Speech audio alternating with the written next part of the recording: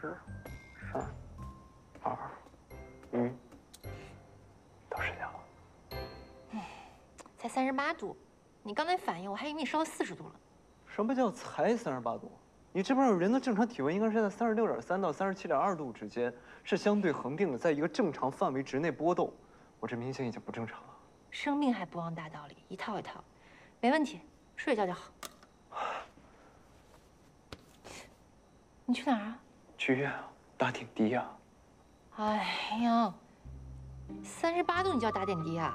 淡定淡定，不至于啊。人生病了就要去看医生，就需要去打点滴，而且很多很严重的疾病，最初的表现症状就是持续性的低烧。我明天还有一个很重要的会，我好不起。请医生来给你免费科普一下哈，这发热是机体抵抗疾病侵袭的反应之一。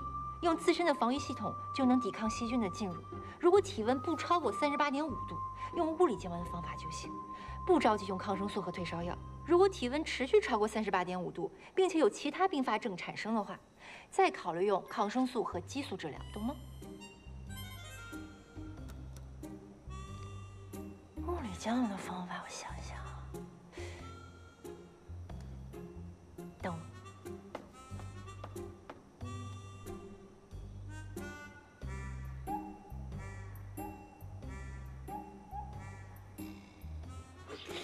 喂，我我，你真的有多凉吗？凉什么凉啊！我小时候发烧了，我妈都给我敷冰块呢。来，继续。哎，走走走。小气，我换个方法。发了，发了。哎呀，这汗出的。你来我家是为了谋财害命的吧？还不拿走？嗯，忘你了，再喝碗姜汤吧。啊！喂，姜汤是姜块吗？不应该是姜丝熬的吗？你管那是姜块还是姜丝呢？熬了汤都一样。来，喝。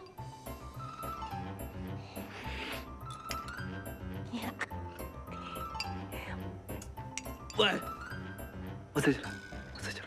你自己来什么来？我来。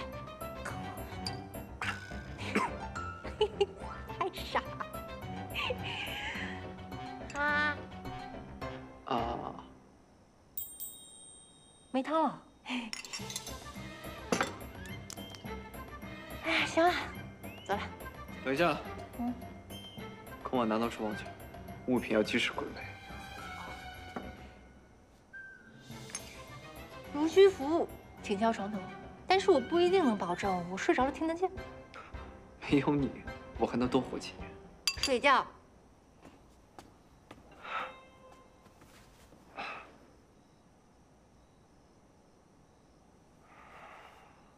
我招谁惹谁了？